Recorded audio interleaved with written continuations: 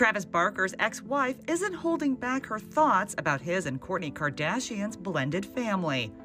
Shanna Moakler made headlines this week after leaving what many thought was a shady Instagram comment about Kourtney's relationship with Shanna and Travis's kids. The former Miss USA responded to a fan who said in a comment that they believe Shanna deserves an apology after Kourtney and Travis's Hulu wedding special, with Shanna writing of the reality star, She posts more of my kids than her own, lol.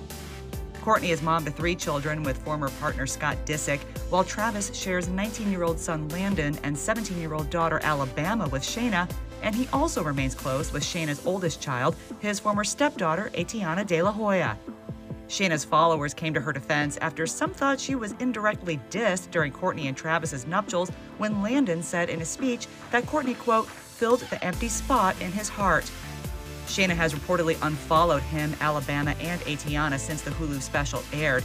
But another follower pointed out that Shanna and Travis's kids are older than Kourtney's and therefore more able to choose a public life for themselves, while Kourtney has said her oldest son, 13 year old Mason, isn't interested in being a social media presence.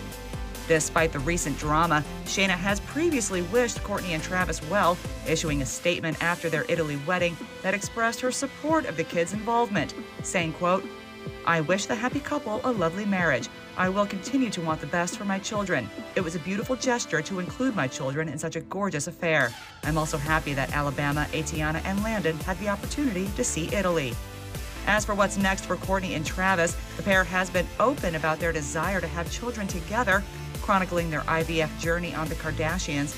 And Kourtney told Access Hollywood's Kit Hoover last year how many kids she and the Blink 182 drummer would have in mind in a perfect world. I would love to in a dream world.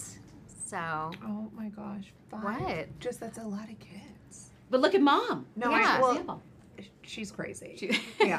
and we each have three, kids. so six, seven, eight. Oh Nice my even gosh, number. Right. I like that.